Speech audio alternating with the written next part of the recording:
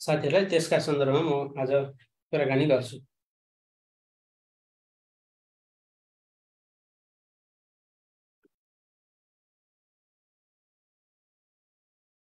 ल। नमस्कार साथीहरू। नमस्कार। रेकर्ड भएको छ? ओके यहाँलाई हार्दिक स्वागत छ। हामी अब तत्कालै खुल्न गइरहेको शिक्षक सेवा आयोगको चाहिँ सेड्युल अनुसार चैत वैशाखमा खुल्ने भनिएको अध्यापन अनुमति पत्रको तयारी कक्षामा छौँ साथीहरू। तयारी कक्षामा छौँ। यहाँहरूलाई हार्दिक स्वागत छ। एम्बुसन गुरु मार्फत यो क्लास चलिरहेको यहाँहरूलाई जानकारी गराएँ। अब अध्यापन अनुमति पत्रको पाठ्यक्रम कस्तो रहेको छ? माध्यमिक तहको पाठ्यक्रम कस्तो रहेको छ? आधारभूत तहको पाठ्यक्रम कस्तो रहेको छ? कसरी हामीले पास चाहिँ पास गर्न सकिन्छ? भन्ने सन्दर्भमा यहाँहरूलाई चाहिँ जानकारी है? ओके? ल।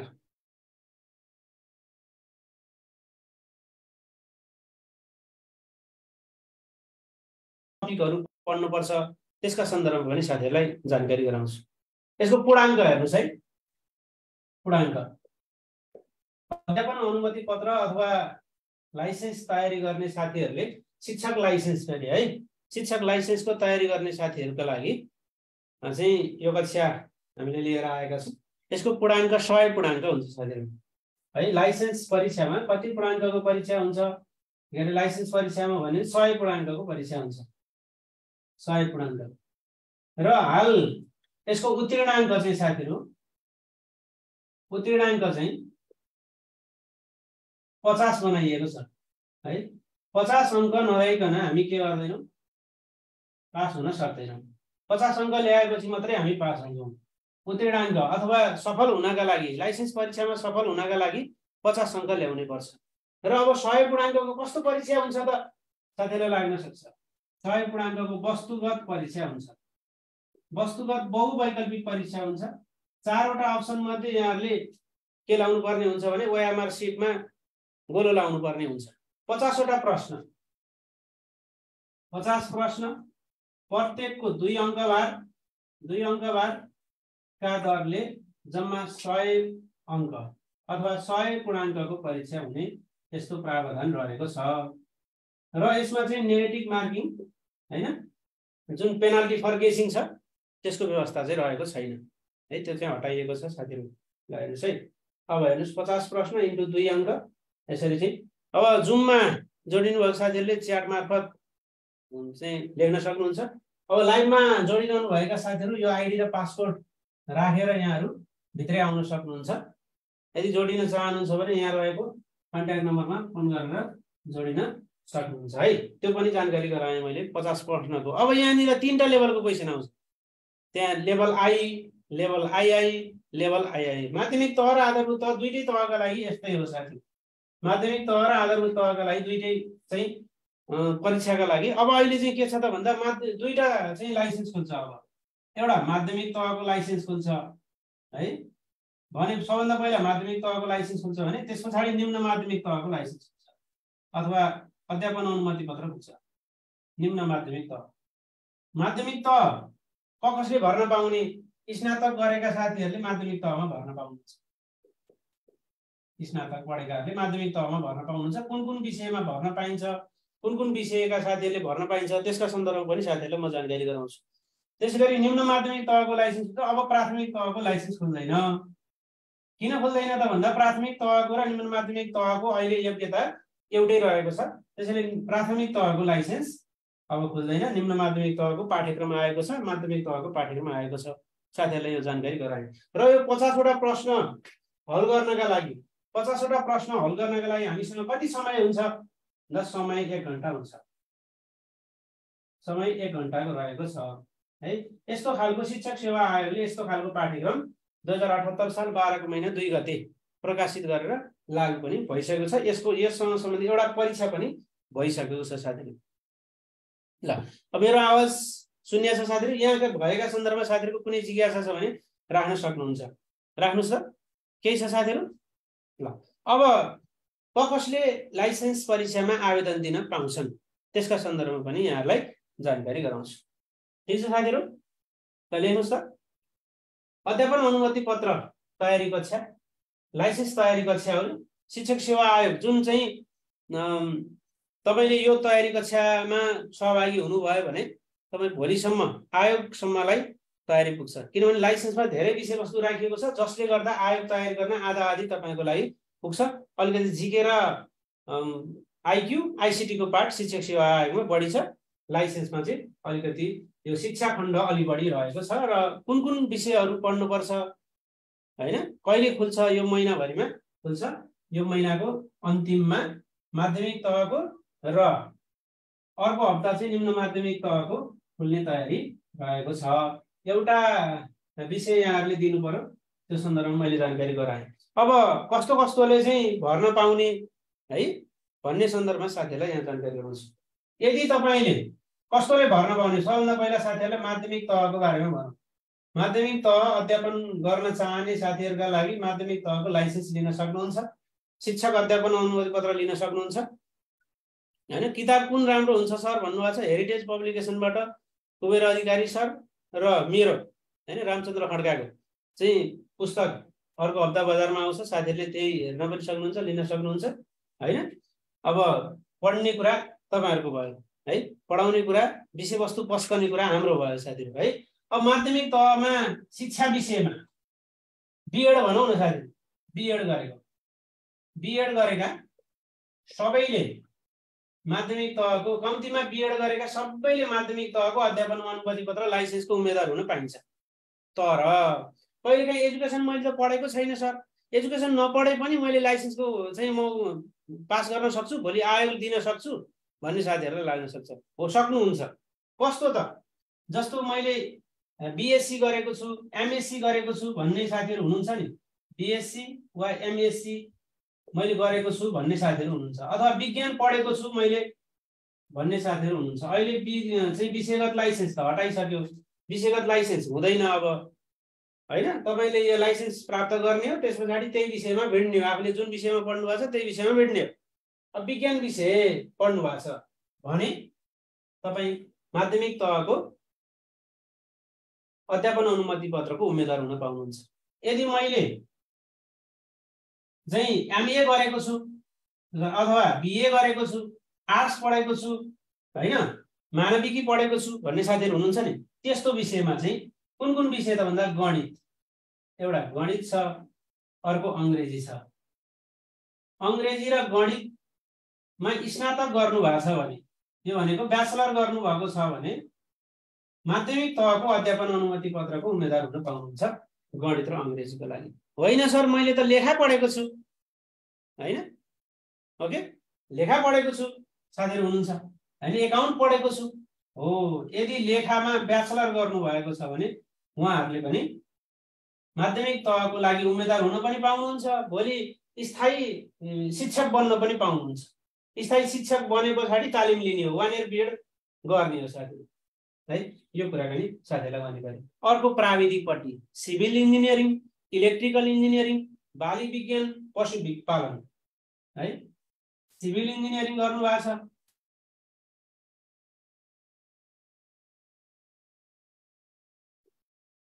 इलेक्ट्रिकल इन्जिनियरिङ गर्नुभएको छ पढ्नु भएको छ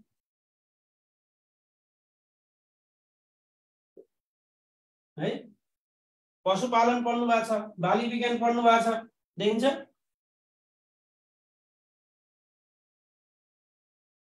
बाली विज्ञान पढ्नु भएको छ अथवा पशुपालन पढ्नु भएको छ र स्नातक गर्नुभएको छ भने माध्यमिक तहको यो बिएड गरेका चाहिँ जुनसुकै विषयको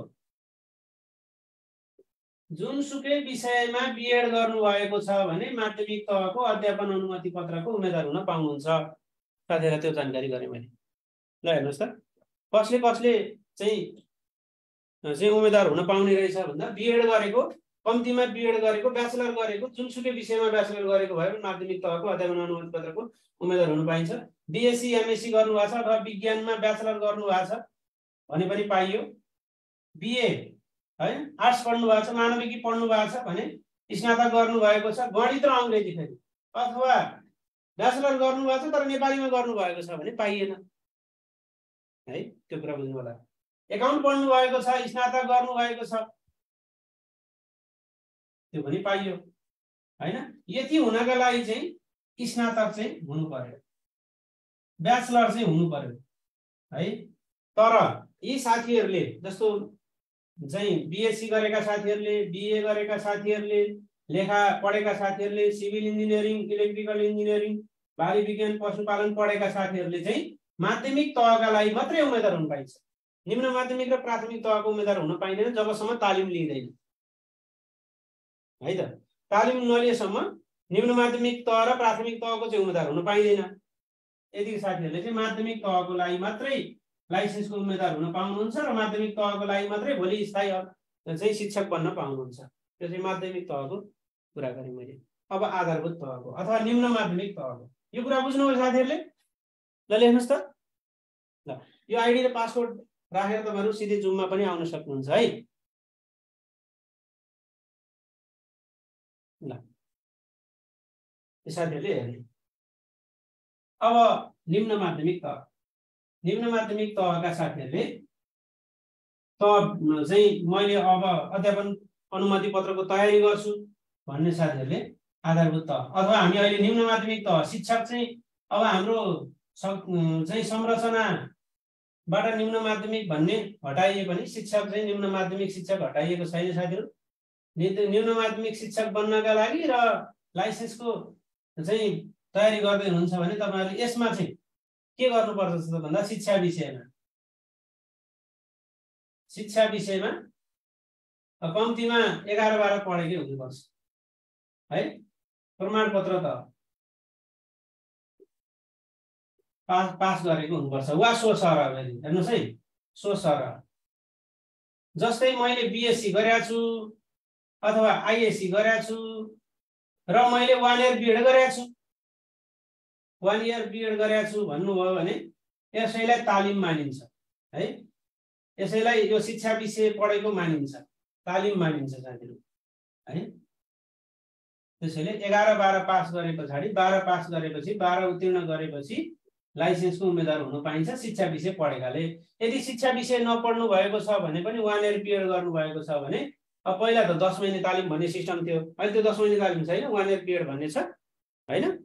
त्यो वान इयर बिएड गर्नुभएको छ भने निम्न माध्यमिक तहको लाइसेन्सको उम्मेद्वार हुन पाउनुहुन्छ। साथीहरूलाई यो मैले जानकारी गराएँ। अब हाम्रो पढ्नुपर्ने विषयवस्तुहरू के के रहेको छ अलिकति म साथीहरूलाई पढाउनु पर्ने विषय चाहिँ अलिकति कन्टेन्टको बारेमा पनि साथीहरूलाई जानकारी दिन्छु। है त? मिटिङ आइडी मिलाएको छैन साथीहरू? हेर्नुहोस् त एकचोटि।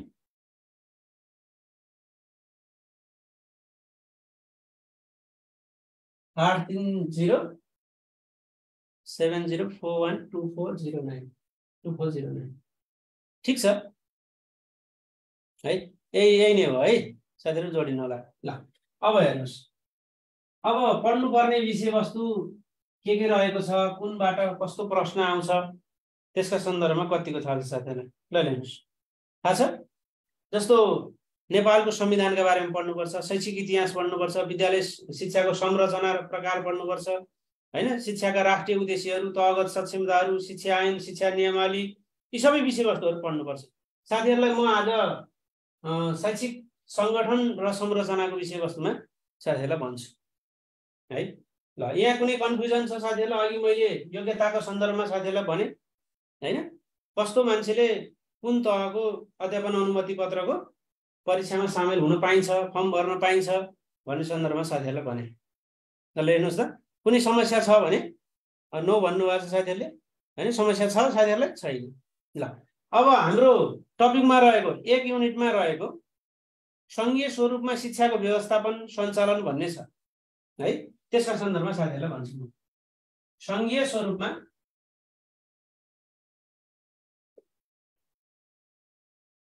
शिक्षाको सङ्गठन संरचना। शिक्षाको सङ्गठन कस्तो रहेको छ? है? सङ्गठन संरचना कस्तो रहेको छ? यसलाई कसरी याद गर्ने? यहाँबाट कस्ता प्रश्नहरू आउँछन्? त्यसका सन्दर्भमा साथीहरूलाई भन्छु। जस्तो अहिले कति तहको सरकार छ? सरकार भन्ने भने साथीहरू तिन तहको सरकार छ। के के सरकार हो? ल त एउटा सङ्घीय सरकार। है हाम्रो टपिक यो रहेको छ आजबाट क्लास स्टार्ट भयो साथीहरू।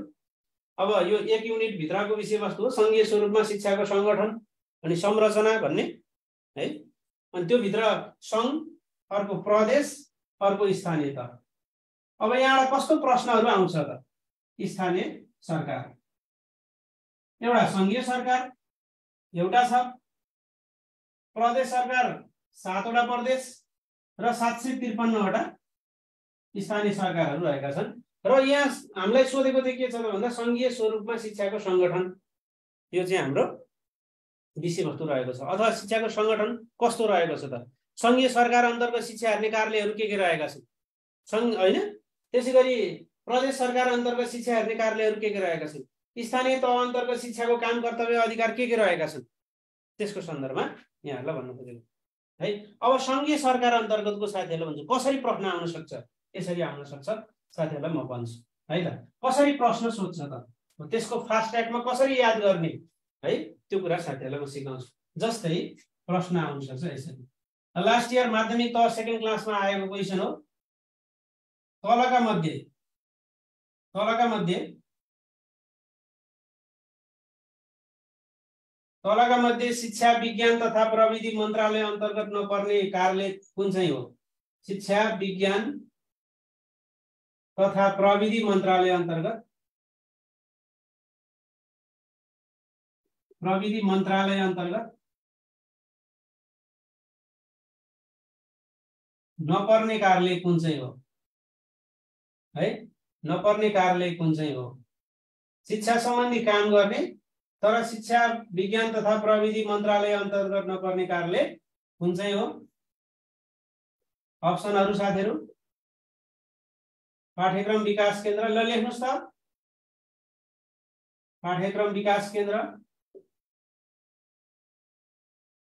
शिक्षा तथा मानव स्रोत विकास केन्द्र शिक्षा तथा मानव स्रोत विकास केन्द्र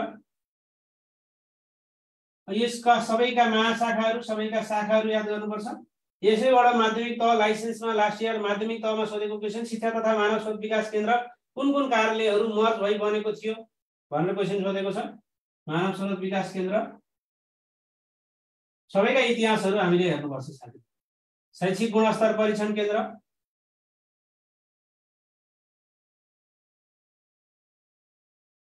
तपाईँले अध्यापन अनुमति पत्रको तयारी गर्नुभयो भने तपाईँहरूले आधा आधी तपाईँको तयारी पुग्यो होइन?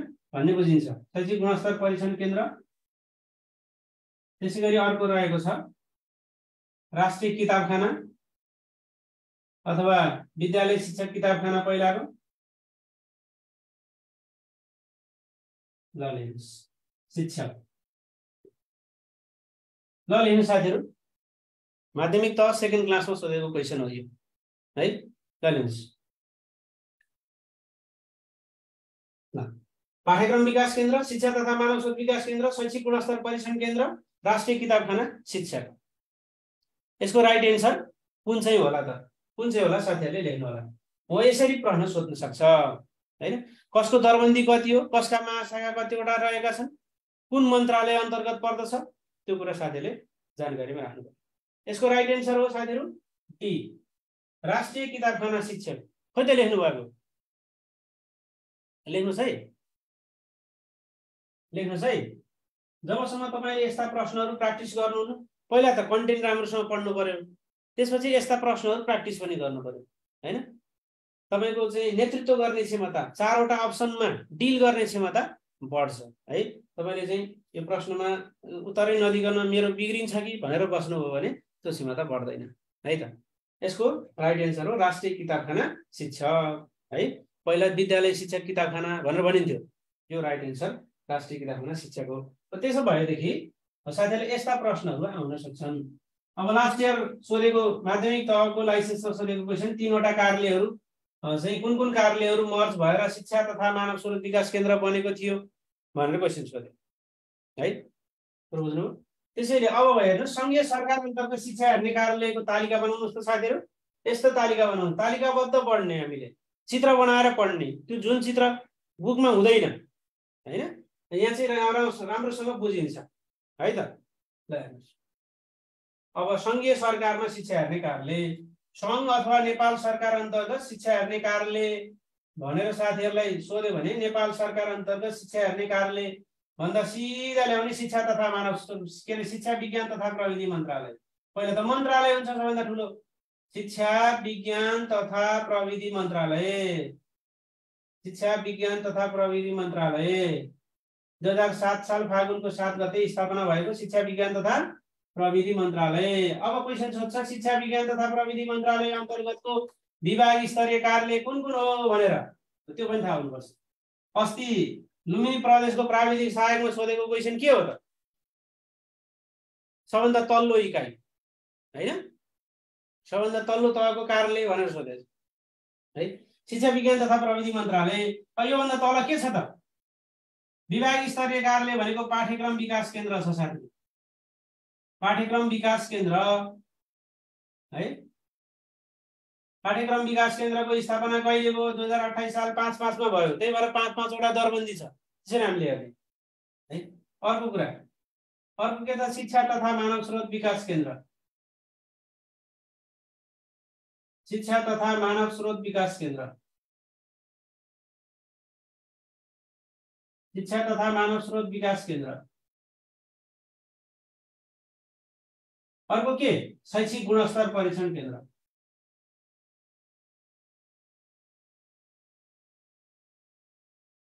शैक्षिक गुणस्तर परीक्षण केन्द्र। यी सबैको डिटेल जान्नुपर्छ है त? सबैको डिटेल जान्नुपर्छ। अब योभन्दा पनि तल साथीहरू।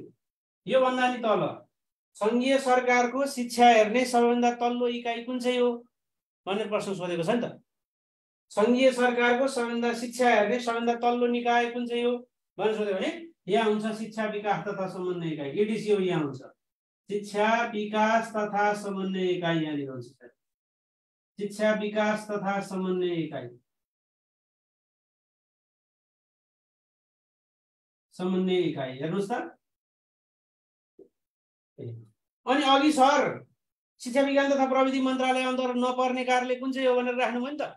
हो त्यो चाहिँ कहाँ पर्दछ त भन्दा यता सङ्घीय मामिला तथा सामान्य प्रशासन मन्त्रालय त्यो चाहिँ कहाँ पर्दछ त भन्दा? सङ्घीय मामिलाभित्र पर्दछ सङ्घीय मामिला तथा सामान्य प्रशासन मन्त्रालय अन्तर्गत पर्दछ। तथा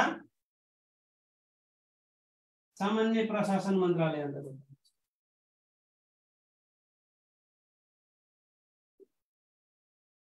सङ्घीय मामिला तथा सामान्य प्रशासन मन्त्रालय अन्तर्गत। यो चाहिँ के त? सङ्घीय मामिला तथा सामान्य प्रशासन मन्त्रालयको अन्डरमा राष्ट्रिय किताबखाना शिक्षा। त्यसैले त शिक्षा विज्ञान तथा प्रविधि मन्त्रालय अन्तर्गत पर्दैन भनेर भनेको नि। राष्ट्रिय किताबखाना शिक्षक। अब हामीलाई के क्वेसन सोध्छ भने शिक्षा तथा मानव स्रोत विकास केन्द्रका कतिवटा महाशाखाहरू छन्? तिनवटा महाशाखाहरू छन्।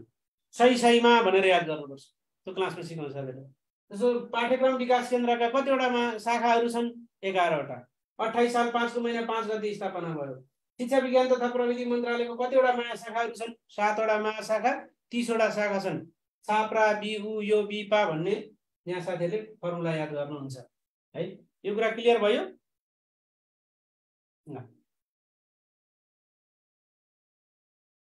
यो कुरा साथीहरूलाई थाहा छ नि होइन?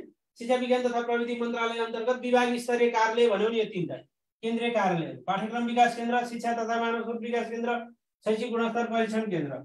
त्यस त्योभन्दा सबभन्दा तल्लो इकाइ भनेर यो सोध्न सक्ने क्वेसन के हो त भन्दा सङ्घीय सरकारको सबभन्दा तल्लो इकाइ सङ्घीय सरकारको शिक्षा हेर्ने शिक्षा हेर्ने तल्लो इकाइ भन्यो भने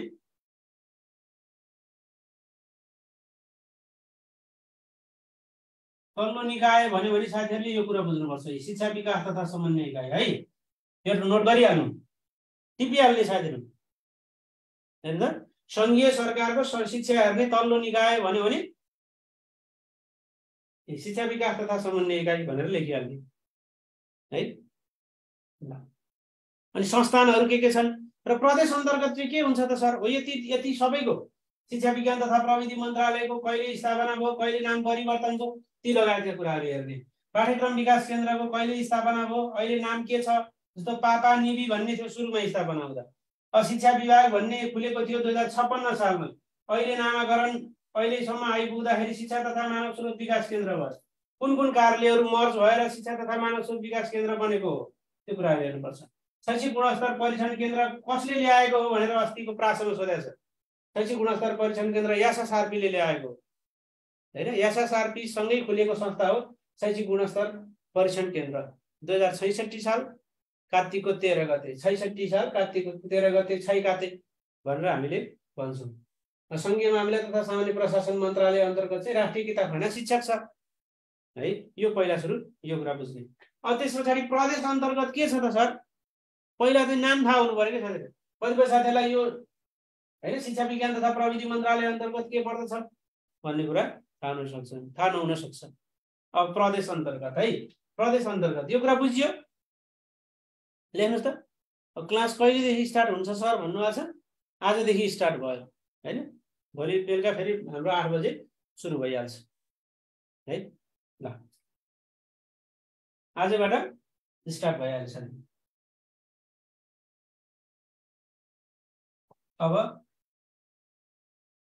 सङ्घीय सरकार अन्तर्गतको शिक्षा हेर्ने कार्यालय सकियो। अब यसको बारेमा चाहिँ हामी डिटेलमा क्लासमा पढ्छौँ साथीहरू। यसको मन यसको चाहिँ स्थापना अहिलेको चाहिँ नीति कसरी याद गर्ने? साप्रा व्यू यो विकास सबै सूत्रबद्ध तरिकाले हामी पढ्छौँ है? अब जस्तो प्रदेश अन्तर्गत प्रदेश सरकार अन्तर्गत शिक्षा हेर्ने कार्यालयहरू तलका मध्ये कुन हो कुन होइन धेरै पटक सोधेको छ।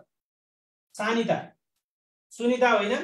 सानिता भन्ने याद गरिदिनुहोस् हेर्नुहोस् है सानिता।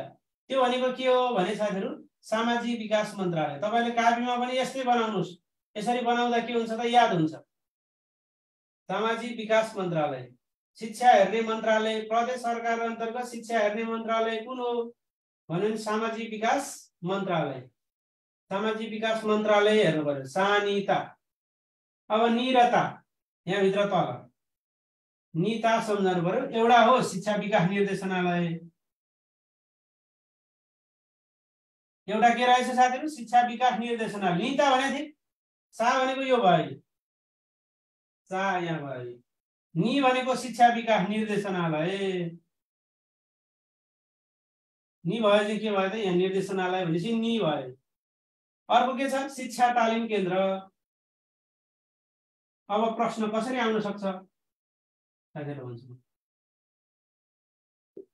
अब ता भनेको यहाँनिर भयो सानिता प्रश्न कसरी आउन सक्छ त भन्दा सामाजिक के अरे प्रदेश सरकार अन्तर्गत शिक्षा हेर्ने कार्यालय तलका मध्ये कुन चाहिँ हो? शिक्षा तालिम केन्द्र अथवा शिक्षा विकास निर्देशनालय यो दुइटा मध्ये एउटा त आउने नै भयो। है? यो दुइटा त आउने नै भयो साथीहरू। सामाजिक विकास मन्त्रालय अन्तर्गत एउटा नि रहेछ एउटा ता रहेछ। यति कुरा सम्झने एउटा नि एउटा ता। सानिता होइन? प्रणिता सम्झे पनि हुन्छ। होइन? प्रणिता प्रदेश सरकार अन्तर्गत शिक्षा हेर्ने कार्यालय भने प्रणिता सम्झने सकिने प्रणिता सानिता सामाजिक विकास मन्त्रालय त्योभित्र एउटा निर्देशनालय एउटा तालिम केन्द्र प्रश्न कसरी आउन सक्छ साथीहरूलाई भन्छ। प्रश्न कसरी आउँछ? त्यसलाई डिल गर्नु पऱ्यो नि त हामीले होइन? जानेर मात्रै भएन धेरै जानेर मात्रै नाम निस्किने पनि होइन। त्यसको डिल गर्नु पर्यो। कसरी उत्तर मिलाउने सानिता भनेर मिलाउनु पऱ्यो। अब कस क्वेसन कसरी आउँछ? प्रश्न यसरी आउँछ। प्रश्न यसरी आउँछ। हेर्नुहोस् है। प्रदेश सरकार अन्तर्गत। प्रदेश सरकार अन्तर्गत। आउन सक्ने सम्भावित प्रश्न। प्रदेश सरकार अन्तर्गत शिक्षा हेर्ने कार्यालय कुन चाहिँ हो? शिक्षा हेर्ने कार्यालय कुन हो? अब प्रदेशले के के काम गर्दछ भन्ने पनि आउँछ। पुस र बिउको काम गर्छ साथीहरू। पुसमा बिउ रोप्ने काम गर्छ प्रदेशले। प्रदेश सरकार शिक्षा हेर्ने कार्यालय कुन हो तलका मध्ये कुन हो भने क नम्बर? पाठ्यक्रम विकास केन्द्र। होइन? पाठ्यक्रम विकास केन्द्र। अब अब्जेक्टिभ भ्यूबाट हेर्नुहोस् है साथीहरू। दुईवटा कुरा हुन्छ शिक्षा सेवा आयोग पढ्ने साथीहरूलाई एउटा कुरा कण्ठ गर्ने अर्को कुरा लजिक लाउने। दुईटी कुरा तपाईँहरू सक्षमता हुनुपर्छ। कण्ठ गरेर मात्रै पनि भएन कतिपय कुरा लजिक लाउनुपर्छ। कतिपय कुरा लजिक लाउने भने अब याद गर्नुपर्ने कुरा यादै गर्नु पर्यो अस्ति चाहिँ निम्न माध्यमिक तहमा अनुभव र तालिम सिकाइयो अनुभव र तालिमबाट व्यवहारमा आउने परिमार्जन सिकाइयो तलको मान्छे कसको हो भने क्रो एन्ड क्रो पनि हो जस्तो लाग्छ गेटेको पनि हो जस्तो लाग्छ कालबिनको पनि हो जस्तो लाग्छ गेरेटको पनि हो जस्तो लाग्छ हुन्छ नि त त्यति बेला यादै गर्नुपर्छ कन्ठै गर्नुपर्छ। अनुभव र तालिम भनेको गेटेको परिभाषा हो। अनुभव तालिम ताला लाउने गेटमा भनेर साथीहरूलाई सिकाउँछु म है। त्यसैले दुईवटा कुराको क्षमता तपाईँहरूसँग हुनुपर्छ। एउटा याद गर्ने त्यो याद गर्ने पनि तरिका हुन्छ। जस्तो मैले सानिता भने नि सानिता भने होइन जस्तो चाहिँ स्थानीय सरकार सञ्चालन ऐन अनुसार स्थानीय तहका गाउँपालिका नगरपालिकाका काम कर्तव्य अधिकारहरू भनौँ प्रासा प्रामा गागा बिबी साबी साबी सा बिनी ट्युसन पढ्न स्थानीय जाने भन्ने फर्मुला छ। त्यो कुरा याद गर्नु पर्यो। विकासका मानव विकासका विशेषताहरू भन्यो भने पनि पसा पनि फसा चबा हवाई फडायो भन्ने याद गर्नु पर्यो। होइन? अब माध्यमिक तहमा आएको प्रश्न जोन डिओएको शिक्षा त्रिमुखी प्रक्रिया जोन डिओए भनेको थियो। जोन डिओले शिक्षा त्रिमुखी हो भनेको छन्। विद्यार्थी र समाज विद्यार्थी र शिक्षक समाजमा जोडी बनेर बस्छन् भन्ने कुरा हो। त्यस्ता कुराहरू पनि याद गर्नुपर्छ भने कतिपय लजिक लाउने कुराहरू त्यो पनि याद गर्नुपर्छ। है? ल। अब एउटा मैले यहाँनिर क्वेसन लेखिदिएँ साथीहरूलाई ती दुईवटा कुराको चाहिँ तपाईँहरूले हेर्नुपर्छ एउटा लजिक लाउने अर्को याद गर्ने। ट्याक्क भन्दाखेरि ठ्याक्क आउनु पऱ्यो। मुसु मुसु आएर ट्याक्क उत्तर मिलाउनु पऱ्यो। शिक्षक सेवा आयोग। हो? प्रदेश सरकार अन्तर्गत चाहिँ हेर्ने कार्यालय दिल्ली रमण पुस्तकालय ल। भनियो अर्को शिक्षा तालिम केन्द्र। शैक्षिक जनशक्ति विकास अहिले चाहिँ शैक्षिक गुणस्तर परीक्षण केन्द्र भनिदिन सक्छ। शिक्षा तालिम केन्द्र। हेर्नुहोस् प्रदेश सरकार अन्तर्गत सानिता पर्निता भनेर सम्झे पनि हुन्छ। निरता एउटा निर्देशनालय एउटा तालिम केन्द्र होइन? तालिम केन्द्र राइट एन्सर भयो। भयो भएन? तालिम केन्द्र शिक्षा तालिम केन्द्र। निरता भन्ने चाहिँ राइट एन्सर भयो।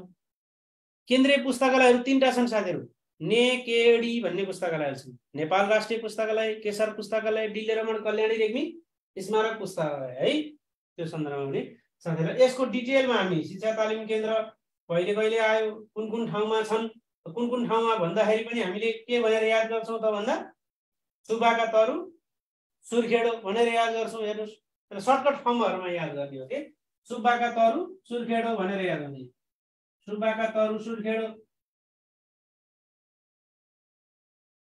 सुर्खेडो भनेर यसरी यसरी हेर्नुहोस् है शिक्षा तालिम केन्द्रहरू कहाँ कहाँ छ यो चाहिँ के हो त? ट्रिक हो। यो चाहिँ सम्झने तपाईँले। सु भनेपछि सुनसरी बा भनेपछि बाह्र का भनेपछि काभ्रे। कहाँ कहाँ छन् त? प्रदेश अन्तर्गत सात ठाउँमा शिक्षा तालिम केन्द्रहरू रहेका छन्। शिक्षा तालिम केन्द्रहरू कतिवटा रहेका छन् भन्दा सातवटा प्रदेशमा सातवटा शिक्षा तालिम केन्द्रहरू रहेका छन्। प्रदेश अन्तर्गत शिक्षा हेर्ने कार्यालय तलका मध्ये कुन चाहिँ हो भन्दाखेरि यो कुरा हामीले हेर्नु पर्दछ अर्को कुरा। अर्को कुरा साथीहरू अर्को मैले यो यो चाहिँ प्रदेश सरकार अन्तर्गत। अर्को कुरा के त भन्दा स्थानीय सरकार अन्तर्गत। स्थानीय सरकार कतिवटा छ? सात सय त्रिपन्नवटा छ। सात सय त्रिपन्नवटा स्थानीय सरकार। जम्मा सरकार सात सय एकसठीवटा रहेछ होइन? सङ्घीय सरकार एउटा प्रदेश सरकार सातवटा अनि सात सय त्रिपन्नवटा स्थानीय सरकार हुने रहेछ। स्थानीय सरकार अन्तर्गत चाहिँ के छ त? भन्दा गाउँपालिका नगरपालिका छ। के हुनु र होइन? एउटा गाउँपालिका हुन्छ अर्को नगरपालिका हुन्छ गाउँपालिका नगरपालिका हुन्छ। त्यहाँभित्र के हुन्छ त भन्दा शिक्षा महाशाखा वा शाखा हुन्छन्। शिक्षा महाशाखा वा शाखा हुन्छन् साथीहरू। अब यसको काम कर्तव्य र अधिकार के छन् त? गाउँपालिका नगरपालिकाको शिक्षा सम्बन्धी? भन्दा साथीहरूले स्थानीय सरकार सञ्चालन ऐनको दफा एघारको दुईको ज पढ्नुपर्छ स्थानीय सरकार सञ्चालन ऐन दुई हजार चौहत्तर साल छको महिना उन्तिस गते आयो। स्थानीय सरकार सञ्चालन ऐन है? ऐन दुई हजार चौहत्तरको दफा एघारको दुईको जमा जुन तेइसवटा अधिकारहरू छन् नि त्यो हेर्नुपर्ने हुन्छ। त्यसको फर्मुला छ सर्टकट फर्ममा हामीले याद गर्छौँ।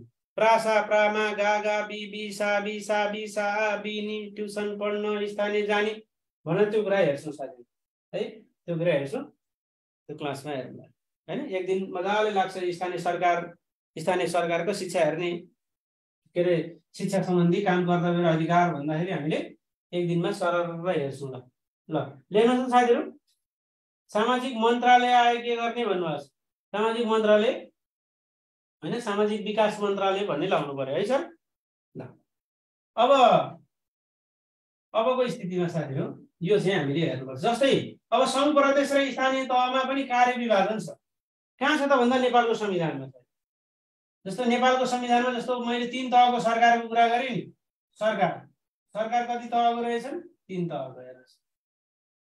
एउटा सङ्घीय सरकार सङ्घीय सरकार अथवा यसलाई हामीले नेपाल सरकार भन्छौँ। अर्को प्रदेश सरकार अनि अर्को स्थानीय सरकार। तर नेपालको संविधानमा सङ्घीय सरकारलाई अथवा नेपाल सरकारलाई सङ्घको अधिकार के के छ? प्रदेशको अधिकार के के छ? स्थानीय तहको अधिकार के के छ? क्वेसन यसरी आउँछ।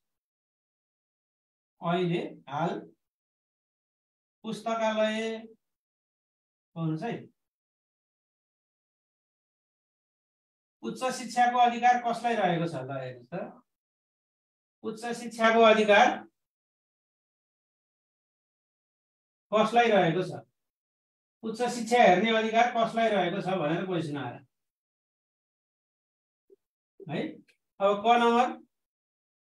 सङ्घीय सरकार होइन? ख नम्बर? प्रदेश सरकार ग नम्बर? स्थानीय तह स्थानीय सरकार सङ्घीय सरकार अर्को साथीहरू प्रदेश सरकार अर्को स्थानीय तह वा स्थानीय सरकार वा कसैलाई पनि छैन भनिदिन सक्छ। होइन? अथवा शिक्षा विकास तथा समन्वय इकाइलाई छ। एउटा अप्सन राखिदिनु त नि साथीहरूलाई होइन? शिक्षा विकास तथा समन्वय इकाइलाई छ। ल भन्नुहोस् त कसलाई छ? हेर्नुहोस् त। उच्च शिक्षाको अधिकार कसलाई छ? खै त लेख्नु मिल्दैन कि भनेर नलेख्ने होइन कि? लेख्नुहोस् न। यसको राइट एन्सर के हुन्छ? लेख्नुहोस्। ल यसको राइट एन्सर चाहिँ साथीहरू यहाँ हुन्छ। प्रदेश सरकारलाई हुन्छ। किन हुन्छ त? कसरी याद गर्नुपर्दछ? क होइन? सङ्घीय सरकारलाई होइन। पुसा र बिउ प्रदेश सरकारको अनुसूची छमा अधिकार रहेको छ। जस्तै नेपालको संविधानको हेर्नुहोस् है प्रदेश सरकारको अधिकार भनेको नेपालको संविधानको। नेपालको संविधान को अनुसूची छमा छ नि त? अनुसूची पाँचमा। देखि चाहिँ कुरो छ है? हेर्नुहोस् अनुसूची छमा प्रदेश सरकारको अधिकार छ। त्यहाँ के छ त ल भन्नुहोस् त। बिउ पुसा र बिउ सम्झनालाई हामीले पुस बिउ भनेर सम्झने पुस्तकालय प्रदेश पुस्तकालयको अधिकार प्रदेश सरकारलाई छ प्रदेश सङ्ग्रहालय सङ्ग्रहालय भनेको यो सङ्ग्रहालयको अधिकार प्रदेशलाई छ प्रदेश सरकारको अधिकारभित्र अर्को प्रदेश विश्वविद्यालय विश्वविद्यालय भट्टाभट्टी खोलिरहेको छ नि प्रदेशले। यही अधिकार प्रयोग गरेर विश्वविद्यालय र प्रदेशभित्रको उच्च शिक्षाको अधिकार कसलाई छ भन्दा बिउ भनेर सम्झनु पर्यो। पुष र बिउ यति अधिकार अनुसूची छमा छ। जम्मा अनुसूची छमा कतिवटा अधिकार छ साथीहरूलाई कन्ठै छ? पाँच छ सात आठ नौ। जम्मा नौवटा अनुसूची मध्ये यहाँ पैँतिसवटा अधिकार छन् यहाँ पच्चिसवटा छन्। एउटा छोडेर यहाँ पन्ध्रवटा छन्। यसरी याद गर्नुपर्छ। यहाँ एक्काइसवटा छ यहाँ बाइसवटा छ। होइन? नेपाल सरकारको सङ्घीय सरकारको अधिकार पैँतिसवटा छ प्रदेश सरकारको एक्काइसवटा छ सङ्घ र प्रदेशको साझा अधिकार पच्चिसवटा छ स्थानीय तहको अधिकार जम्मा बाइसवटा छन्। बाइसवटा मध्ये आठ नम्बरमा आधारभूत र माध्यमिक शिक्षा छ। हो? अनि पन्ध्रवटा सङ्घ प्रदेश र स्थानीय तहको साझा अधिकार छ। फेरि हेर्नुपर्दछ साथीहरूले स्थानीय तहको अधिकार चाहिँ कहाँ छ त? ल भन्नुहोस्। अब आधारभूत र माध्यमिक शिक्षाको अधिकार कसलाई छ अहिले भनेर सोधिनु पुस भ्यू है? आधारभूत र माध्यमिक शिक्षा आमा सम्झने। आमा। आमा भनेको कहाँ छ? आठमा। आमा आठ आमा सम्झनुहोस् है? अनुसूची आठमा। अनुसूची आठ आठै नम्बर हो। अनुसूची आठमा नेपालको संविधानको अनुसूची आठमा स्थानीय सरकारको अधिकार छ स्थानीय तहको अधिकार छ। त्योमा के छ त? आमा छ भने मैले आधारभूत र माध्यमिक शिक्षा। क्वेसन कसरी सोध्न सक्छ? हाल आधारभूत र माध्यमिक शिक्षाको अधिकार कसलाई छ? भनेर सोध्नु आधारभूत र माध्यमिक शिक्षाको अधिकार कसलाई छ? भनेर। आधारभूत र माध्यमिक शिक्षाभित्र जम्मा तेइसवटा अधिकार रहेका छन्। अघिल्लो सोधेको क्वेसन हो के के हुन् त? प्रा सा प्रा मा गा गा बी बी सा बी सा बी त्यो साथीहरूलाई पढाएको छु है स्थानीय तहको अधिकार भन्यो भने आमा सम्झनु त्यसो भए सर सङ्घीय सरकारको चाहिँ के के छ त एकल अधिकार के के छ त ल भन्नुहोस् त केन्द्रीय विप्रविमानी भन्ने छ जहाँ जहाँ केन्द्रीय भन्ने आउँछ त्यो सङ्घको अधिकार हुन्छ साथी त्यो नेपालको संविधानको अनुसूची पाँचमा रहेको अधिकार छ अनुसूची पाँचमा जम्मा पैँतिसवटा अधिकार छ त्यो मध्ये हामीले हेर्ने अधिकार भनेको केन्द्रीय विप्रविमानी केन्द्रीय विश्वविद्यालय केन्द्रीय प्रज्ञा प्रतिष्ठान विश्वविद्यालय मापदण्ड र नियमन केन्द्रीय पुस्तकालय त्यो चाहिँ सङ्घीय सरकारको अधिकार हो सङ्घको अधिकार हो त्यो चाहिँ अनुसूची पाँचमा रहेको छ। अब क्वेसन कसरी आउन सक्छ? केन्द्रीय विश्वविद्यालयको अधिकार कसलाई छ? विश्वविद्यालय मापदण्ड र नियमनको अधिकार कसलाई छ? सङ्घीय सरकारलाई छ भनेर भन्नुपर्छ। ल्याइदिनुपर्छ। केन्द्रीय विश्वविद्यालय। जहाँ केन्द्रीय भन्ने आउँछ त्यो ट्याक्क सम्झिहाल्ने सङ्घको अधिकार केन्द्रीय विश्वविद्यालय केन्द्रीय पुस्तकालय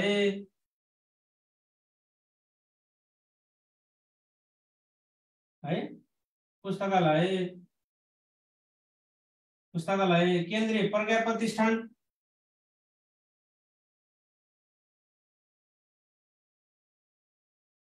अर्को बिमानी भनेको छ नि विश्वविद्यालय मापदण्ड र नियमन। विश्वविद्यालयको मापदण्ड र नियमनको अधिकार कसलाई छ भनेर सोध्छ। विश्वविद्यालय मापदण्ड र नियमन।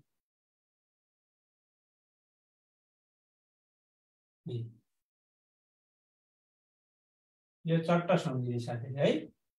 पुष्प्यू भनेर सम्झिने केन्द्रीय विप्रविमानी भनेर सम्झने आमा भनेर सम्झिने। अब यस एउटा क्वेसन साथी।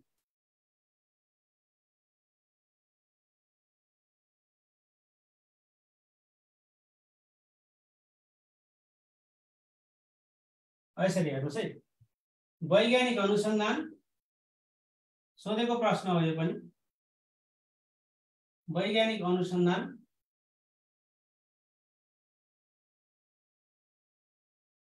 विज्ञान प्रविधि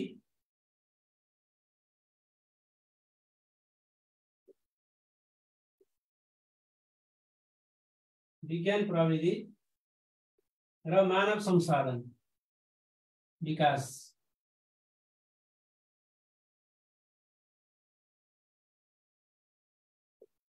विकासको अधिकार।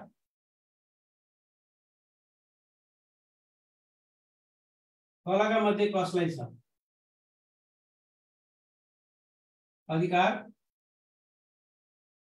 कलाका मध्ये कसलाई छ।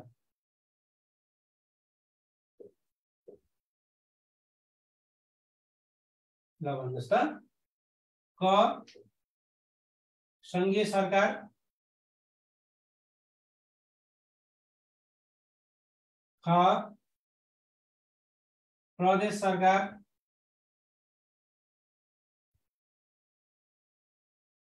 ग सङ्घीय सरकार र स्थानीय सरकार।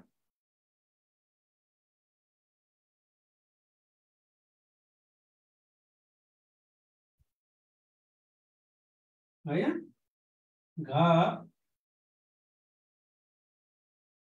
सङ्घीय र प्रदेश। दुवै। ल लिनुहोस्।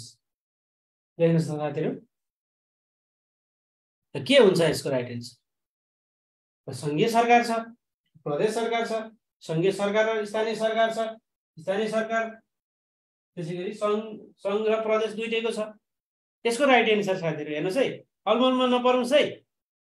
माविवाही भन्ने अधिकार छ। मा सर्टकटमा सम्झने है। मा बिवाई माविवाही भनेपछि मा मानव संसाधन विकास विज्ञान प्रविधि र वैज्ञानिक अनुसन्धान अनुसूची सातमा भएको अधिकार हो। अनुसूची कतिमा? सातमा। अनुसूची सातमा कसको अधिकार छ ल? अड्कल गर्नु त साथीहरू।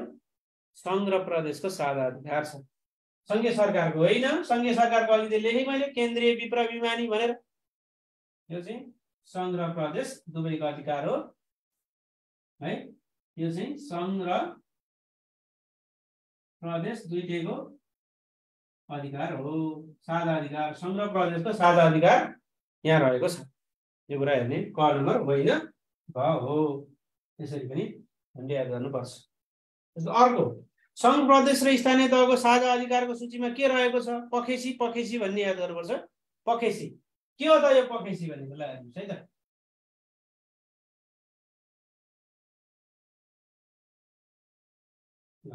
सङ्घ प्रदेश र स्थानीय तहको साझा अधिकारको सूचीमा भएको विषय तलका मध्ये कुन चाहिँ हो?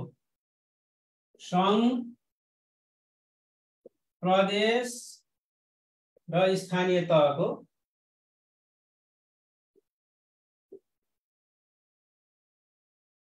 अधिकारको साझा सूचीमा भएको विषय तलको मध्ये कुन चाहिँ हो? है? साझा सूचीमा भएको अधिकार कुन हो? वस्तुगत प्रश्न यस्तै आउने हो साथीहरू। शिक्षा युवा तथा तथा खेलकुद?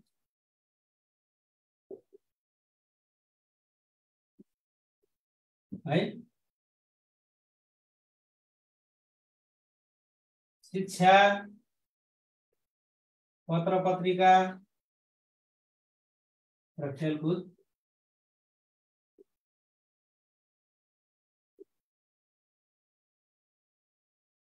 शिक्षा पुस्तकालय र वाचनालय। है? शिक्षा बालबालिका तथा युवा। ल लेख्नुहोस् त साथीहरू। यसको राइट एन्सर लेख्नुहोस् त। के हुन्छ? प्रश्न यसरी पनि आउन सक्छ। है? शिक्षा बालबालिका तथा युवा हो कि शिक्षा पुस्तकालय वाचनालय हो कि शिक्षा पत्र पत्रिका खेलकुद हो कि शिक्षा युवा तथा खेलकुद हो? नचुकिनुहोस् है। पखेसी भन्ने याद गर्नुपर्छ। पखेसी शिक्षा युवा खेलकुद होइन। तिनै तहको सङ्घ प्रदेश र स्थानीय तहको साझा अधिकारको सूचीमा भएको विषयवस्तु भनेको त्यो हो पखेसी। एउटाले काम गर्दा अर्कोले पख पख भन्ने भनेर सम्झने पखेसी। पत्र पत्रिका खेलकुद र शिक्षा। तिनै तहको अधिकार क्षेत्रको साझा सूचीमा राखिएको छ। पखेसी। पखेसी सम्झने पखेसी साथीहरू पत्र पत्रिका खेलकुद र शिक्षालाई पखेसी पखेसी पखेसी भनेर खरै छ सर। शिक्षा पत्र पत्रिका खेलकुद। खरै छ मिलाउनु हो। खरै छ भनेर भन्नुभएको छ साथीहरू हो। यसरी हामीले हेर्नु पर्यो है। सङ्घ प्रदेश र स्थानीय तहको अधिकारको साझा सूचीमा भएको अधिकार तलका मध्ये कुन चाहिँ हो भन्दाखेरि पखेसी भन्नु पर्यो आमा भन्यो भने आधारभूत र माध्यमिक शिक्षाको अधिकार कति अनुसूचीमा के अरे आधारभूत र माध्यमिक शिक्षाको अधिकार कसलाई रहेको छ भन्यो भने त्यो चाहिँ स्थानीय सरकारलाई रहेको छ भनेर भन्नु पऱ्यो गाउँपालिका नगरपालिकालाई रहेको छ भनेर साथीहरूले सम्झनु पऱ्यो। पखेसी सम्झनु पऱ्यो। अब संरचनाको विषयवस्तु संरचना। के हो संरचना भने अहिले कस्तो खालको संरचना छ? साथीलाई थाहा छ? जस्तै क्वेसन आउन सक्छ यसरी। हेर्नुहोस् है। आधारभूत शिक्षा भन्नाले आधारभूत शिक्षा भन्नाले राष्ट्रिय पाठ्यक्रम प्रारूप अनुसार तलको मध्ये कुन चाहिँ सही छ भन्छ? अहिले संरचना राष्ट्रिय पाठ्यक्रम प्रारूप अनुसार र शिक्षा ऐन अनुसार फरक फरक रहेको छ। आधारभूत शिक्षा भन्नाले राष्ट्रिय पाठ्यक्रम प्रारूप। दुई हजार छयत्तर अनुसार कुन सही छ? कुन सही छ? है? क नम्बर कक्षा एकदेखि आठसम्मको शिक्षा। ख नम्बर प्रारम्भिक बाल शिक्षादेखि प्रारम्भिक बाल विकासदेखि आठसम्मको शिक्षा आठसम्म कक्षा एकदेखि पाँचसम्मको शिक्षा है? घर नम्बर पूर्व प्राथमिकदेखि आठसम्मको शिक्षा। अहिले शिक्षाको संरचनाको कुरा गरिरहँदा साथीहरू शिक्षाको संरचनाको कुरा गरिरहँदा दुईवटा कुरा सम्झनुपर्छ। सङ्घको सूत्र साथीहरू केन्द्रीय विप्र विमानी हो। केन्द्रीय विप्र विमानी। सङ्घीय सरकारको शिक्षा हेर्ने कार्यालयहरू हुन् है। ल भन्नुहोस्। आधारभूत शिक्षा भन्नाले राष्ट्रिय पाठ्यक्रम प्रारूप अनुसार राष्ट्रिय पाठ्यक्रम प्रारूप अनुसार कुन चाहिँ सही छ भनेर साथीहरूलाई मैले यो राखेँ। ल भन्नुहोस्। आधारभूत शिक्षा भन्नाले अब म साथीहरूलाई लेखिदिन्छु। राष्ट्रिय पाठ्यक्रम प्रारूप दुई हजार छयत्तर अनुसार आधारभूत शिक्षा एक किसिमको छ है? राष्ट्रिय पाठ्यक्रम प्रारूप अनुसार विद्यालय शिक्षा दलमा दुईवटा हो। दुईवटा तहको विद्यालय शिक्षा छ एउटा आधारभूत एउटा माध्यमिक छ। त्यो मध्ये अहिलेको राइट एन्सर के हो त सर? ल लेख्नुहोस्। अहिलेको राइट एन्सर धेरै साथीहरूले धेरै साथीहरूले लेख्नु भएको छ ख ख भनेर है? पढ्नु भएको छैन है? नपढेसम्म साथीहरूले त्यही नै लेख्ने हो है? कुरो बुझ्नु हो नि? कति वर्षको आधारभूत शिक्षा कति वर्षको माध्यमिक शिक्षा होइन? त्यो कुरा नबुझेसम्म साथीहरूले खरै लेख्ने हो। अहिले मैले तपाईँलाई के भनेको छु राष्ट्रिय पाठ्यक्रम प्रारूप दुई हजार छयत्तर अनुसार भनेको छु। कुन चाहिँ छ आधारभूत शिक्षा भन्नाले भनेको छु? हेर्नुहोस् है। शिक्षा ऐन अनुसार र राष्ट्रिय पाठ्यक्रम प्रारूप अनुसार फरक फरक छ साथीहरू। त्यो कुरा हेर्नुपर्छ। यसको राइट एन्सर हो कक्षा एकदेखि आठसम्म ल एकदेखि आठसम्मको शिक्षालाई आधारभूत शिक्षा भनेर भनिन्छ। क हो राइट एन्सर साथीहरू। क चाहिँ राइट एन्सर भयो। किन भयो त? के भन्यो भने के हुन्छ? त्यो कुरा चाहिँ म साथीहरूलाई सिकाउँछु है त? लेख्न तयार हुनुहुन्छ? तयार हुनुहोस्। यसको राइट एन्सर हो क? ल हेर्नुहोस्। अब त्यसो भए संरचना के रहेको रहेछ त? त्यसो भए यस्तो दुईवटा तालिका बनाउनु साथीहरू शिक्षा ऐन अनुसार शिक्षा नियमावली अनुसार। आधारभूत शिक्षा। ल लेख्नुहोस्। विद्यालय शिक्षा जम्मा दुई तहको रहेको छ। आधारभूत र माध्यमिक शिक्षा। आधारभूत विद्यालयको शिक्षा कति तहको छ दुईवटा छ। तर आधारभूत तह भन्यो भने साथीहरू एउटा छ शिक्षा ऐन अनुसार अर्को छ राष्ट्रिय पाठ्यक्रम प्रारूप अनुसार। शिक्षा ऐन दुई हजार अठाइस संशोधन सहित। शिक्षा ऐन दुई हजार अठाइस जसको संशोधन सहित आठौँ संशोधन अब नौ संशोधन भए पनि यो संरचना परिवर्तन भएको चाहिँ आठौँ संशोधनमा हो। आठौँ संशोधन सहित। अर्को छ राष्ट्रिय पाठ्यक्रम प्रारूप झमझम झरी परेको दिन आएको राष्ट्रिय पाठ्यक्रम प्रारूप दुई हजार छयत्तर पाँच बिस।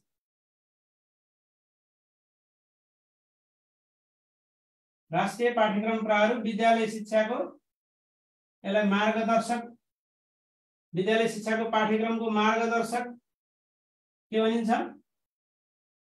दस्तावेज भनेर भनिन्छ? ल यो दुईवटा अनुसार आधारभूत शिक्षा फरक फरक छ। के के छ त? त्यो कुरा हेर्नु।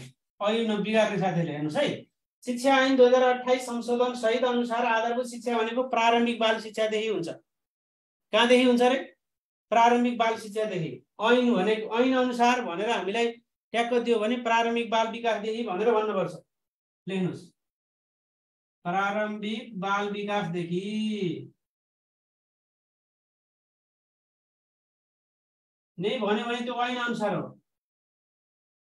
प्रारम्भिक बाल विकासदेखि कक्षा आठसम्म भन्ने बुझ्ने। यो कुरा बुझ्ने। तर राष्ट्रिय पाठ्यक्रम प्रारूप अनुसार आधारभूत शिक्षा भनेर भन्यो भने त्यो चाहिँ कक्षा एकदेखि आठसम्म भन्ने बुझ्ने। कक्षा एकदेखि आठसम्म भन्ने बुझ्ने साथीहरू। अब क्लियर भयो? अब के अनुसार के जान्नुभयो साथीहरू? ल हेर्नुहोस्। है? शिक्षा ऐन दुई हजार अठाइस अनुसार भन्यो भने प्रारम्भिक बाल विकासदेखि कक्षा आठसम्म जान्नु पर्यो है? अब यही आधारभूत शिक्षा राष्ट्रिय पाठ्यक्रम प्रारूप अनुसार भन्यो भने कक्षा एकदेखि आठसम्म जानु पर्यो तर माध्यमिक तह चाहिँ एउटै हो। माध्यमिक तह भनेको कति कक्षा कति कक्षासम्म? नौ कक्षादेखि बाह्र कक्षासम्म। त्यो कुरा जान्नु पर्यो है? ल। अरू पनि जान्नुपर्छ सर भन्न जान्नुपर्छ। आधारभूत शिक्षा भन्यो भने जम्मा विद्यालय शिक्षा कति तहको? दुई तहको छ। एउटा आधारभूत एउटा माध्यमिक। आधारभूत तह भन्नाले चाहिँ आधारभूत शिक्षा भन्नाले के बुझिन्छ भनेर सोध्यो भने साथीहरू यो बुझिन्छ। के बुझिँदो रहेछ? एउटा शिक्षा ऐन अनुसार जान्नुपर्ने रहेछ। एउटा राष्ट्रिय पाठ्यक्रम प्रारूप अनुसार जान्नुपर्ने रहेछ। त्यो दुइटा सम्झने। ओके? अब यो मात्रै हो र सर। अरू पनि जान्नु पर्यो नि त। पर्यो नि? पर्यो। अगाडि बढौँ है त। संरचनाकै सन्दर्भमा साथीहरू संरचनाकै सन्दर्भमा अहिले विद्यालय शिक्षाको संरचना। त्यसो भएदेखि ऐन अनुसार अब शिक्षा ऐन दुई हजार अठाइस अनुसार कस्तो संरचना रहेछ त? भन्नु न त। शिक्षा ऐन अनुसार ऐन दुई हजार अठाइस सालको ऐन हाम्रो चालु नै छ। एउटा आधारभूत शिक्षा अर्को माध्यमिक शिक्षा। के रहेछ? आधारभूत प्लस माध्यमिक। शिक्षा ऐन दुई हजार अठाइस अनुसार संरचना कस्तो रहेको छ भन्दा एउटा आधारभूत रहेछ एउटा माध्यमिक रहेछ। आधारभूत भने के? प्रारम्भिक बाल विकासदेखि अब पूर्व प्राथमिक भन्ने छैन अब ऐनमा बाल विकासदेखि आठ कक्षासम्म। फेरि यो बाल विकास भने के? त्यो पनि सोध्न सोध्छ। चार वर्ष उमेर पुरा गरेका बालबालिकालाई एक वर्षको शिक्षा दिनेलाई प्रारम्भिक बाल विकास भनिन्छ। प्रारम्भिक बाल विकासदेखि आठ कक्षासम्म आठसम्म। यहाँ चाहिँ कति वर्ष भयो त? नौ वर्ष लाग्यो यहाँ।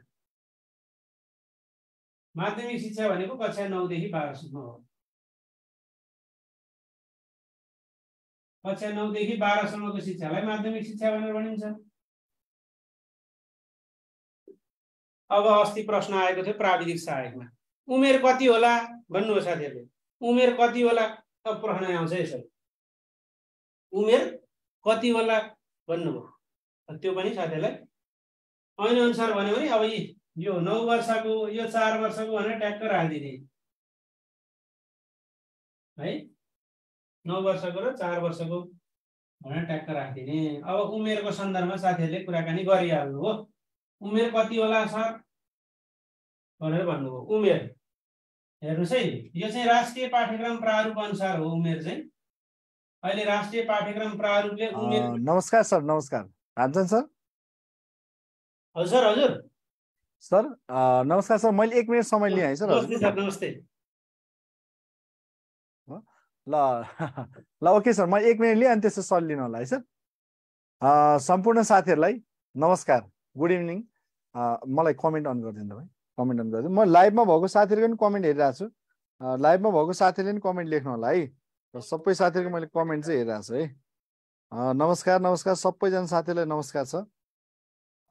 ल अब फेसबुक लाइभमा हेरेर बस्नुभएका सम्पूर्ण साथीहरू र जुम क्लासभित्र आउनुभएका सम्पूर्ण शिक्षक सेवा आयोगको परीक्षा मार्फत स्थायी शिक्षकमा नाम निकालेर जागिर खाने महान अभिलाषा लिएर लाग्नुभएका सम्पूर्ण सरम्यामहरू अब सरम्यामहरू सबैलाई चाहिँ म कुबेर अधिकारी आइक्यू प्रशिक्षक तपाईँहरूलाई यो होइन रात्रिकालीन जस्तै भइसक्यो होइन? ल ल ठिक छ है? अब म तपाईँहरूलाई धेरै नभनिकन हामी अध्यापन अनुमति पत्र लाइसेन्सको आधारभूत त हो भनेको निमावि र मावि। निमावि र माविको चाहिँ हामीले लाइसेन्सको क्लास शिक्षक लाइसेन्सको क्लास आजदेखि हामीले सुरु गरेका छौँ। आजदेखि यो फर्मल क्लास आज हाम्रो फर्स्ट डे ओरिएन्टेसन थियो। हामी नियमित रूपमा बेलुका आठ बजेको समयमा चाहिँ हामी यो शिक्षक लाइसेन्सको क्लास चाहिँ हामीले सुरु गर्दैछौँ। यो चाहिँ रामचन्द्र खड्का सर र म हामी दुईजना सरहरू हामी दुईजना मिलेर चाहिँ यो क्लास हामीले पर्सनल्ली तपाईँहरू माझमा चाहिँ हामीले सञ्चालन गर्ने गरी हामीले सुरु गरेका छौँ। पहिलो कुरो है फेसबुक लाइभमा भएको साथीहरूलाई क्लासभित्र जोडिनलाई यो जुम आइडी पासवर्ड मैले यहाँ लेखिदिएको छु। यो जुम आइडी पासवर्ड प्रयोग गरेर तपाईँहरू क्लासभित्र आउन सक्नुहुन्छ यहाँ दिएको फेसबुक लाइभमा भएको साथीहरूले।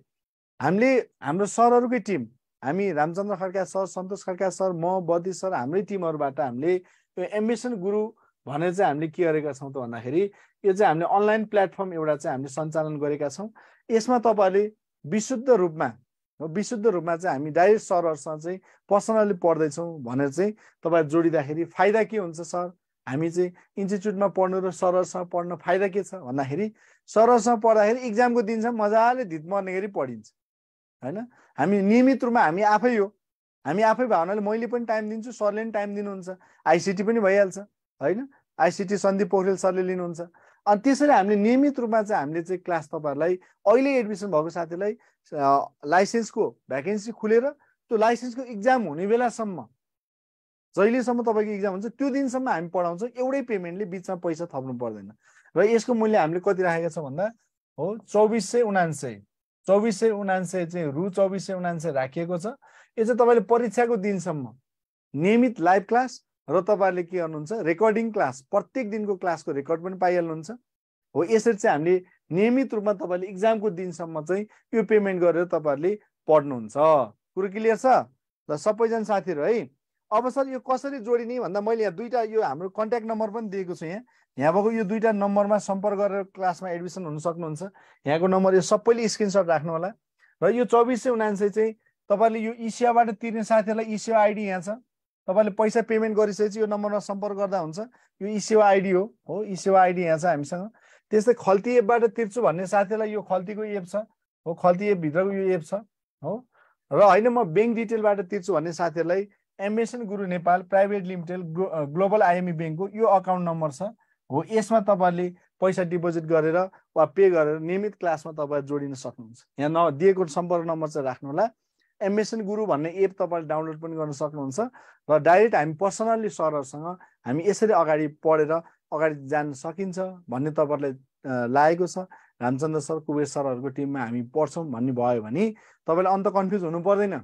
हो अनलाइनमा लाइभ क्लास अनलाइन क्लास चाहिँ तपाईँले न रामचन्द्र सरलाई अन्त देख्नुहुन्छ न मलाई देख्नुहुन्छ। है हामी चाहिँ त्यसरी हामीले आफै पर्सनल्ली सुरु गरिसकेका छौँ। काहीँ कतै फोटोहरू देखेर पनि तपाईँहरू कन्फ्युजन हुनु पर्दैन। हामी डाइरेक्ट टिचरहरूको टिमबाट अनलाइनको अनलाइन क्लासको विषय चाहिँ हामीले यसरी सञ्चालन गर्ने गरिएको छ र थप विषयवस्तु तपाईँहरूले यहाँ दिएको यो नम्बरमा पनि सम्पर्क गरेर तपाईँहरूले सोध्न सक्नुहुन्छ। यो चाहिँ सम्पर्क नम्बर है। सम्पर्क नम्बर। सम्पर्क नम्बर चाहिँ यो छ। अहिले लाइभमा हेरिरहेको साथीहरू चाहिँ यो जुम आइडी पासवर्ड प्रयोग गरेर अहिले क्लासमा आउन सक्नुहुन्छ होइन? अनि यसरी चाहिँ तपाईँहरू जोडिन सक्नुहुन्छ जम्मा चौबिस सय उनान्सय रुपियाँमा इक्जामको दिनसम्म पढ्ने गरी हामीले व्यवस्था गरेका छौँ। ल साथीहरूलाई केही त्यस्तो जिज्ञासा छ भने मलाई सोध्न सक्नुहुन्छ है?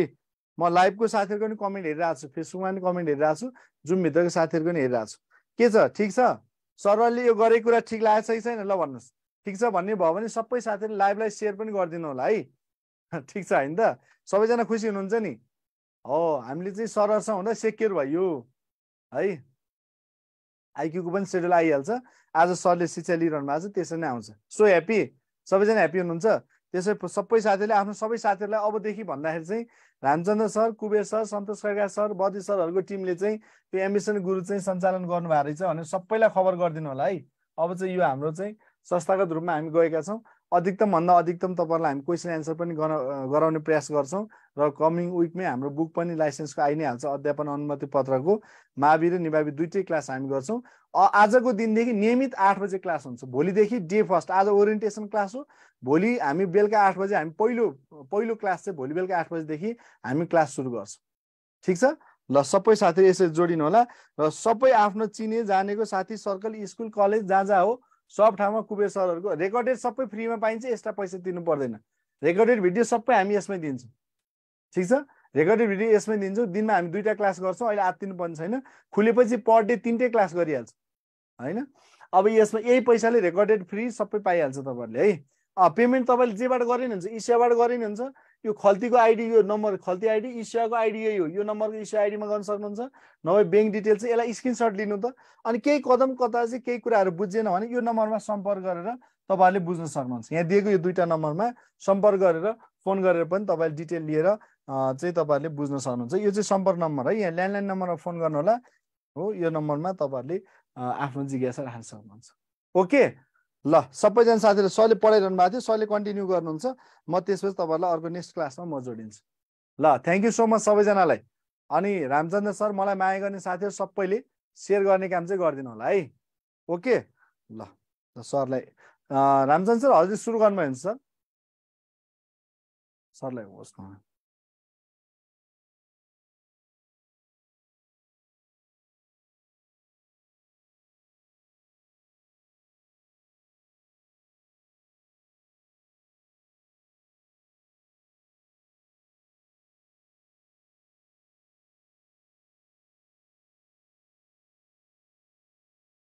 ल मेरो माइक साउन्ड आइरहेछ होइन? ल सरले चाहिँ खास मलाई छोडिछन् मारेको चाहिँ ल ठिक छ। आज हामीले ओरिएन्टेसन सेसनमा सरले अगाडि तपाईँहरूलाई अलिकति पढाउनु कमेन्ट राखिदिनु त। अनि त्यसपछि अब हामी भोलिदेखि नियमित रूपमा आठ बजे क्लास हुन्छ। अध्यापन अनुमति पत्र लाइसेन्सको मावि निमावि दुइटै साथीहरूले चाहिँ दुइटै पढ्न पाउनुहुन्छ। यो पेमेन्टमा चाहिँ पेमेन्टले यही पेमेन्टले दुइटैको तपाईँहरूलाई कभर गरिहाल्छ। म्याक्सिमम् टपिक सबै एउटै भइ नै हाल्छ। अलिकति एक्स्ट्रा टपिक सरले पढाइदिइहाल्नुहुन्छ। शिक्षाको आइक्यू त सेम नै छ। हो यसमा तपाईँले एडमिसन गरेर भोलिदेखिको बेलुका आठ बजेको बेलुका आठ बजेको समयमा फुर्सदमा मजाले बेलुका खानसाना खाएर आनन्दले पढ्ने गरी भोलिदेखि हाम्रो नियमित क्लास हुन्छ। त्यो नियमित क्लासमा जोडिनलाई भोलि दिउँसोसम्म एडमिसन गरेर तपाईँले यो नम्बरमा सम्पर्क गरेर जोडिन सक्नुहुन्छ। ठिक छ? ल ओके। मैले त सरलाई मैले सुरु गर्छु भने सरले आज ओरिएन्टेसन यति गर्नुभएको छ। भोलिदेखि हामी नियमित आठ बजे क्लास हुन्छ।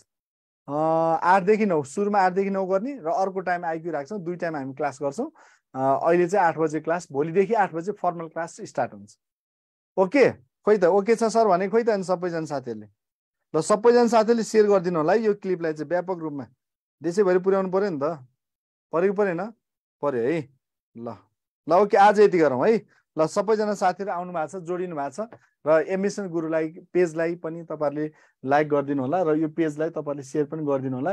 यो चाहिँ हाम्रो आधिकारिक प्लेटफर्म चाहिँ सरको मेरो यही हो। ल okay. Thank you so much सबैजना साथीहरूलाई। केही थप जिज्ञासा चाहियो भने यो नम्बरमा सम्पर्क गर्नु होला है। ल okay good night good night सबैजनालाई। सिउ टुमरो भन्नु